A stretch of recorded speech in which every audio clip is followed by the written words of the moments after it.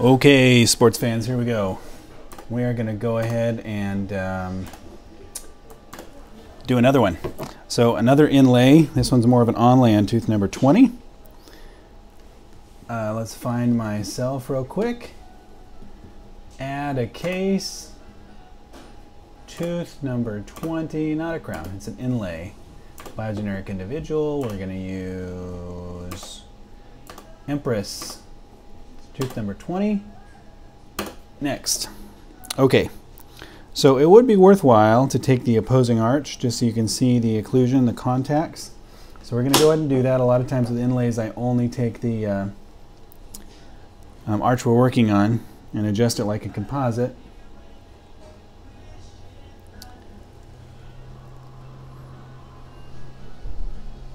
So you notice I basically prepped off the entire lingual cusp. Everything internally is nice and rounded. I don't have a whole lot of separation between the uh, adjacent teeth, and that may pose a problem when we're doing the margin. Um, I did not prep this in the typodont, that's probably why. So let's get some upper images. Hmm, it's got an extraction site that may need to be restored with an implant. And then a buccal scan. Oops. And now a buccal scan.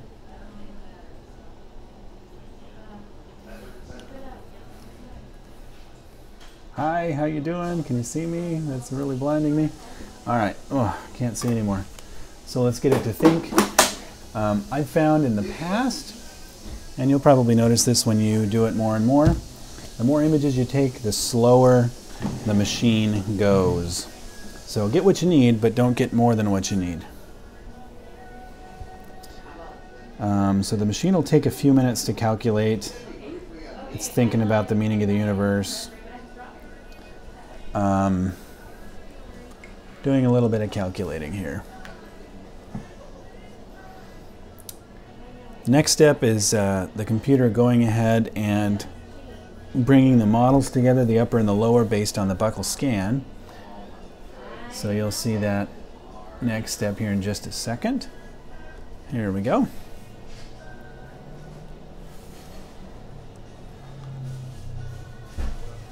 Okay, so it's going to correlate the models. And now we've got an upper and a lower. We're going to set the axis.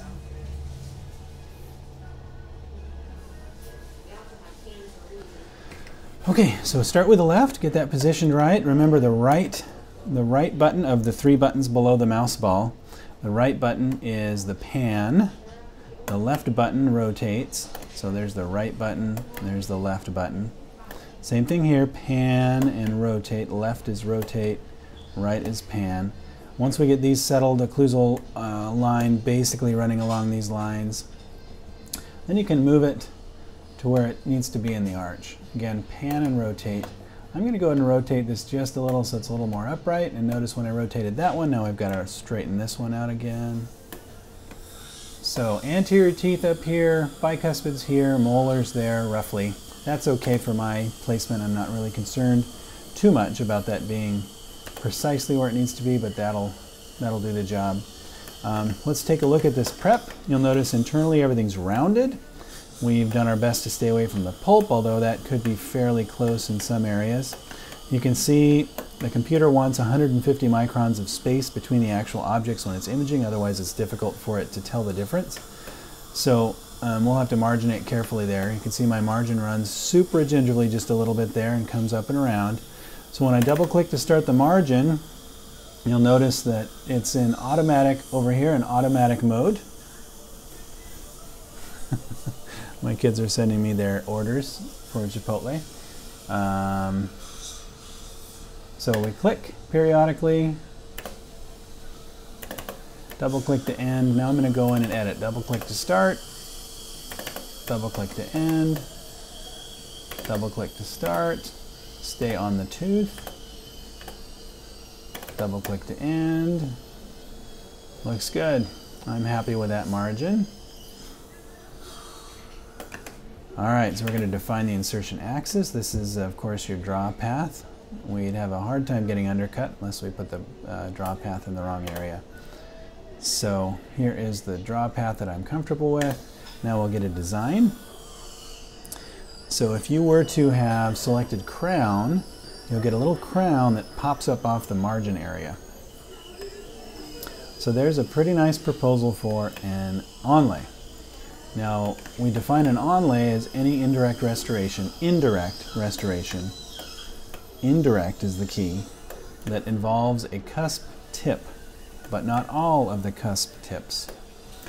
Once it involves all of the cusp tips of any particular tooth, it becomes a crown by definition. So, then onlay involves at least one, but not all, of the cusp tips of a tooth. So there's a pretty good proposal.